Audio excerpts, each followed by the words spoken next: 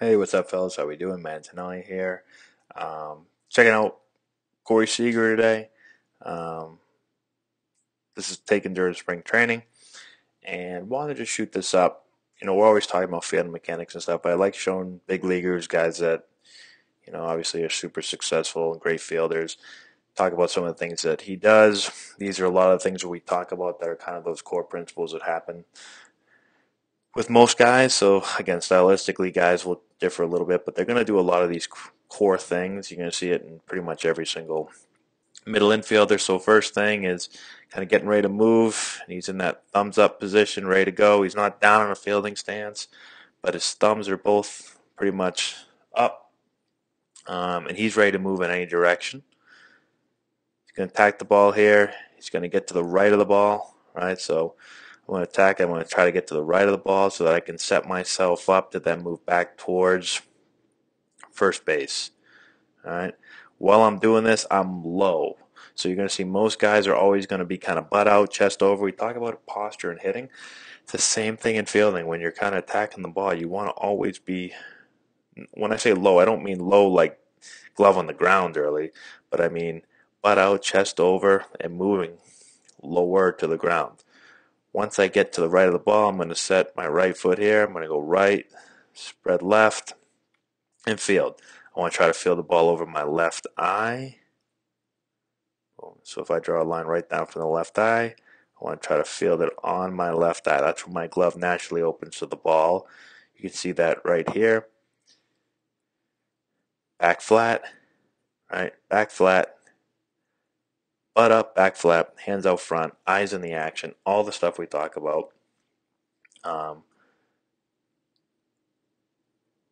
both glove and bare hand are just slightly off center, so the ball's open. the glove's open to the ball, the pocket is not the pocket so much, but the glove is exposed, right? As the ball gets in here, I use my control hand or my bare hand to boom, secure the ball. I'm going to bring the ball to the middle of my body. Right, so I'm bringing the ball up to the middle of my body. As I'm doing that, I'm going right to left, left to target. Here's a routine ball, so he's got time, so he's going to go right to left, left to target again. Okay, so fast runner, right? It might be right to left, left to target throw. Here he's got time, he does it twice. Okay, he's going to break thumbs down. He's going to throw. Now, everything I talked about right here, I'm not picking Seager because he does all this stuff. I have no idea what he does. Um, I mean, I guess I watch him on, you know, I've been watching him obviously in the World Series, so I have an idea that he does some of this stuff. But, you know, just breaking it down, these are just the things that I talk about with all the fielders. And, you know, he does every single one of them. So just like hitting, people talk about hitting mechanics all the time. Fielding mechanics, you're going to see the same stuff with big league fielders. They do stuff really, really similarly. Okay, just not a lot of people talk about what they do, but if you kind of work on these core things, it's going to put your body in position to successfully, you know, consistently and successfully field the ball properly, transfer the ball the right way, be accurate with your throws, all the stuff you're trying to be as an infielder. Remember, be a good fielder. You got to field, you know, it's not like hitting.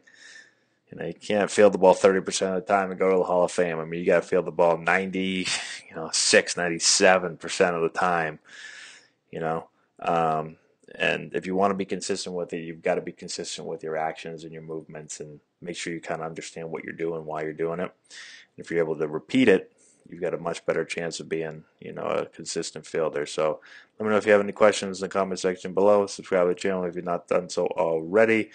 Uh, give us a thumbs up. I'd appreciate that. Check out our Instagram, Antonelli Baseball, Twitter feed, Man99. We're posting videos all the time for you guys.